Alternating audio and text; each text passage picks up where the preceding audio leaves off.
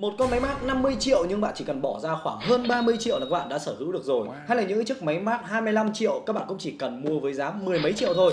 Và đó chỉ có thể là máy mát MDM mà thôi.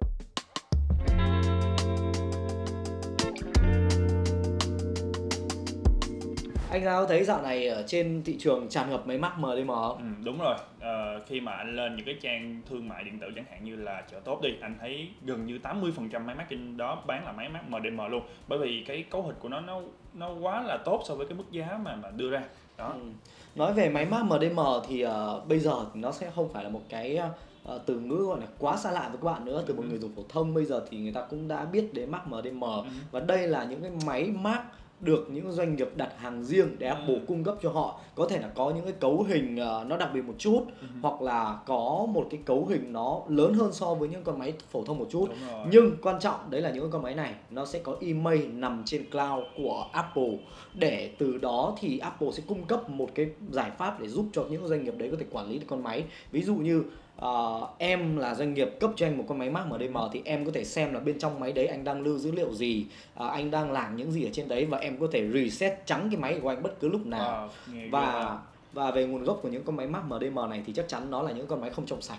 Bởi vì như em đã nói đấy Ừ. máy Mac MDM là do công ty đặt hàng riêng thì không thể nào mà công ty đó đặt về cho nhân viên sau đó lại mang đi bán được Ừ. thì đấy là Đúng. những con máy và theo anh thấy thì có một số những cái máy mát MDM ở Ngọc thì nó có cấu hình nó có khác hơn so với bình thường nữa chẳng hạn như anh thấy có một con máy á, là SSD 500GB thôi nhưng mà RAM lên tới 32GB đó là phiên Ừ. bản Pro 16 inch á hình như bữa anh có nghe em nói là em có một con máy mát nó có bộ nhớ trong chỉ là 128GB thôi đúng bạn không bạn em bạn em Ừ. thì ờ, hôm đấy em cũng thấy thắc mắc tại vì nó giao lên con máy Mac MacBook Đúng M1 rồi. nhưng mà bộ nhớ trong là 128 tưởng GB đồ phát luôn ha tưởng đồ vách nhưng mà không đấy là những con máy Mac do công ty đặt hàng và khi họ đã đặt hàng với một số lượng lớn thì họ có Yeah. quyền yêu cầu là Apple custom theo cái nhu cầu của cái công ty đấy Ừ. ví dụ như là cái con máy Mac mà bạn em ờ, bán á, nó là MDM dành cho trường học Đúng. mà dành cho trường học thì nó chỉ cần chạy hệ điều hành ok có đủ bộ nhớ để chạy hệ điều hành thôi chứ đâu cần lưu trữ gì đâu.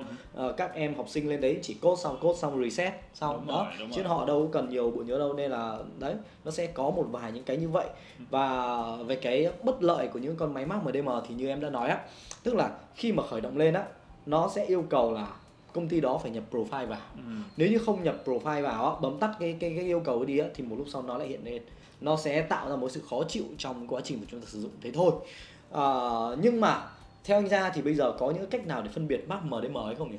thì trong quá trình anh sử dụng cái máy MacBook mà để mà của anh đó thì cách đơn giản nhất mà anh thấy đó chính là reset trắng máy. Bởi vì khi các bạn mà reset á thì đến cái màn hình đăng nhập mà kích hoạt máy á, thì sẽ hiện một cái bảng remote manager. Và đó chính là cái thứ mà các bạn có thể phân biệt được máy MDM và máy sạch Ừ. Ừ. Đây thì cái bảng đây mình đang cho các bạn xem ở trên đây thì các bạn sẽ biết nó là như thế nào. Ồ. Thì về cơ bản các bạn tắt bỏ qua cái bước đấy thì vào bên trong các bạn cũng sẽ gặp tiếp cái bảng đấy thôi. Nên nếu như đã gặp cái đấy thì chắc chắn đó là một con Mac MDM và đó là kinh nghiệm dành cho những bạn đi mua máy Mac cũ nhá. Các bạn nên reset máy để chắc chắn là nó là một con máy thường hay là máy MDM để tránh tiền mất tật mang bởi vì theo như mình biết thì cũng có rất nhiều gian thương đấy. Đúng các bạn rồi. mà tin tưởng người ta mà ờ, cửa hàng không rõ ràng mà cứ bán ở Đúng, ngoài đúng, quán cà phê là dễ dính lắm đấy. dính quán cà phê là nhìn vô cái máy là không biết được máy MDM hay không đâu nếu Ừ. không reset là thua. Ngoài ra thì còn cách nào nữa không anh ra Ờ, nói chung thì có những cái khách khác chẳng hạn như là xài terminal nhưng mà nói ra ở đây thì nó rất là dài dòng cho nên mình đã để một cái đường link bài viết mình viết ở trên audio.vn ở bên dưới cho các bạn tham khảo nha Ừ.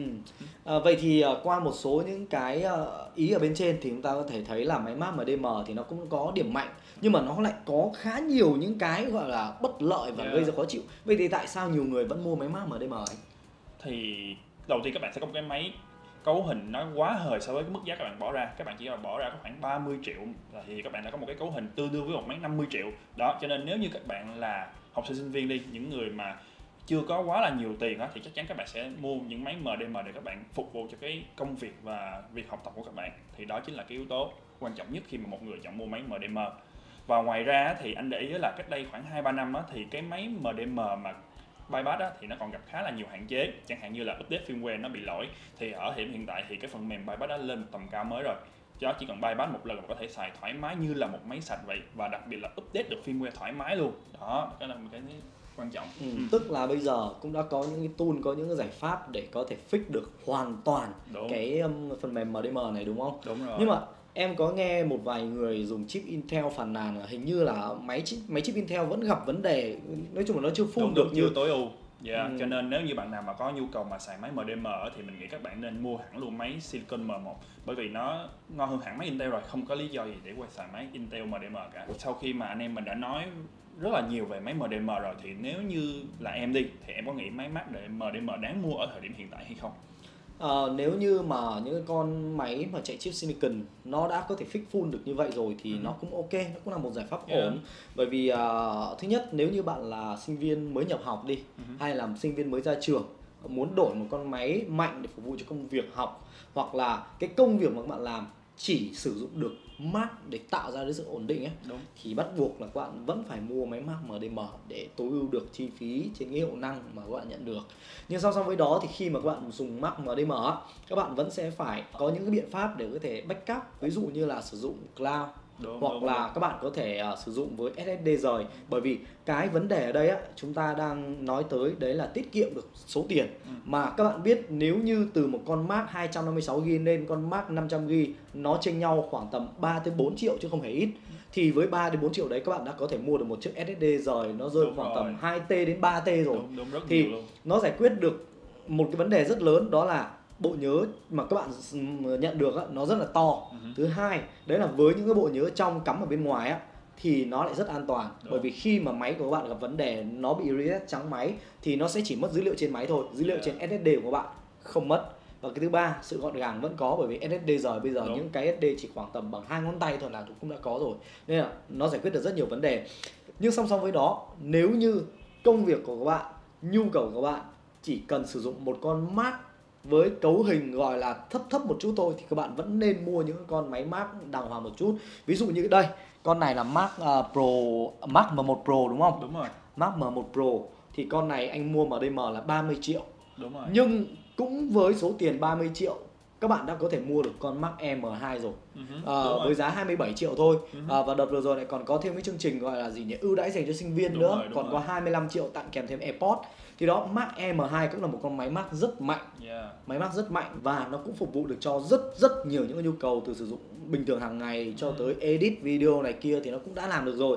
Nên các bạn cứ cân đối cái nhu cầu sử dụng của bạn. Nếu như nhu cầu của bạn chỉ cần những con máy Mac như thế này thôi thì các bạn nên mua một con máy Mac đàng hoàng để có được một cái trải nghiệm tốt nhất sự an tâm là tốt nhất. Và lúc nào dùng một con máy Mac chính hãng nó cũng tín hơn đúng không? Đúng có rồi. bảo hành đàng hoàng từ Apple nữa đó thì giống như mà ngọc nói thì cái ý kiến của mình cũng tương tự vậy.